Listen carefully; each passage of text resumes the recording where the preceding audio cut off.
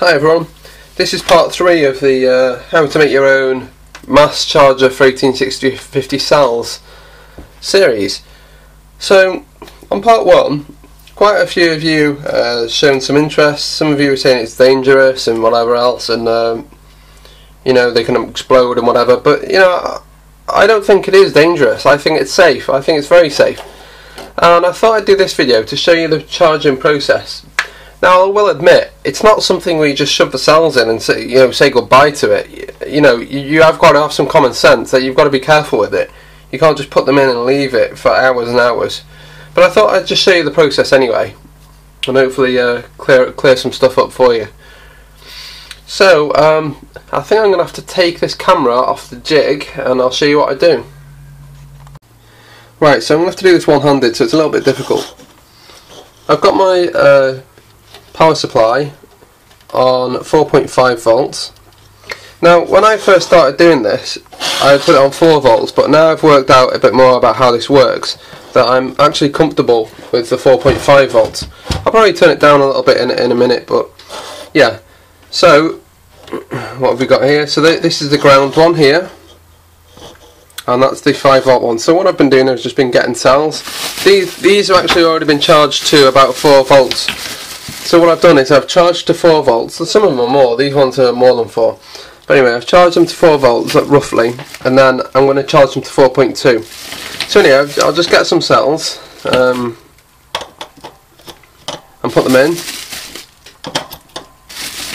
Um, now, the way this is designed, and the way I initially thought about this, is that you would charge 15 cells. And really, um, it's advisable to charge 15. If you put one in, what can if you know just one cell, what can happen is that it can draw the full 5 amps. If you know if if its internal structure allows that. Uh, just because you put one in and you allow 5 amps doesn't mean that it necessarily will take 5 amps. Sometimes it can be, you know, less. Or maybe sometimes it could try and draw more. But from my experience, only the broken ones try and draw, uh, you know, huge amounts of current because they seem to act like a bit of a short circuit. Anyway, we're almost done there. So first thing I've done, I've put the cells in, then I'll check the polarity. So if you want to as well, you can check their voltage, but I'm not going to bother with that. This one seems to have gone in a bit bent for some reason. Oh, it's got some rubbish on it. We'll forget that one for now. Put this one in instead. So um, Check the polarity, of course. You need the polarity to be right. So the bottom is ground, as you can see that, and the top, this is the 5 volts. So I'll, oh, 4.5 volts. So I'll bring that closer to there, and simply put this on. One-handed again. It's difficult. Okay, and you can see that it's contacted and it's drawing 1 point something amps. So if I press this down, it'll try and draw more. So put that on it and it's drawing more. So I'm going to change this down now. I don't want 4.5 volts. From my experience that's just a little bit too much. Right, but you can see that these ones are charged. They've not drawn anything at 4 volts. Right, so what we want here, we want something like 4.4. Yeah. 4.4, 4.3. And what we want to do is we want the voltage to be 4.2 volts. But to get to 4.2 volts you have to charge it higher than 4.2 just a little bit higher. So that's says 4.4 so now at this point if I wasn't sure about the cells which I am sure about them but if I wasn't what I would do is I'd give it a minute or two. I mean it's not drawing 5 amps that's good so I don't think there's a problem. But what I do is I give it a minute or two then I'll take this off and feel each cell. And if any one of the cells is red hot or, or very warm then that's a pretty good indication that it's a faulty cell and you want to take that out. So if you've got a hot cell, take it out because it look it seems though it might have a short or there's some problem with it. So just take it out. Then if you want to, you can check the voltage of the of the hot cell and you'll probably find that it's something like zero volts or something like that. So if you've got one like that, just chuck it. It's not worth messing with in my opinion. Yeah, so um, so stay with it for a minute or two if you've not got any problems, then pretty much just leave it for 10 minutes and check again.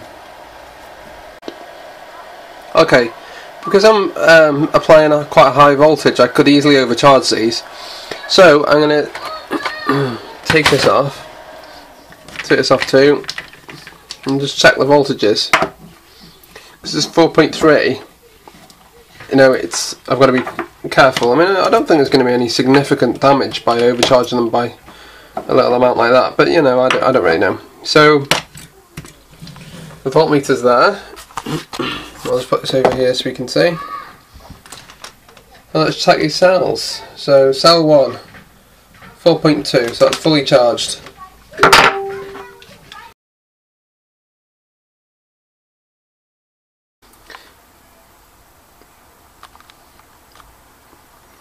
Okay, so let's try again now. Um, I've just took it off, so we just need to check the voltages now. So I'll just put it over here. let's check the voltage of these cells. So that's slightly overcharged. Perfect. Not done. So those two are over 4.2 uh, are over. What's this one? 4.17, 4.22. That's slightly overdone. Nope. No. That one's done. So if I put them back together, maybe I should apply more voltage. Put that back on there. Obviously you don't want to go too crazy though. Oh look, it's not charging again now. 0 0.5, 500 milliamps. And it's come back down, so Maybe maybe that's as much as it will charge, I don't know. Try 4.4. Yeah, it's drawing an amp now, so maybe maybe it's working.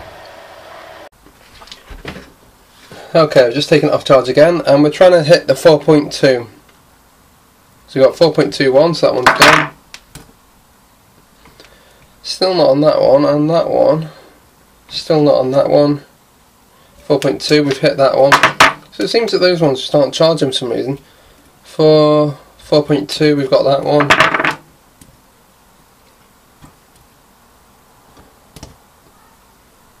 So I wonder why these ones are... Maybe they are charging, but maybe they're just taking a long time. Um, I don't really know. But anyway, I'll keep going. Charge the next load. Maybe they can't I don't know, maybe they can't actually get 4.2, I don't know. We'll see.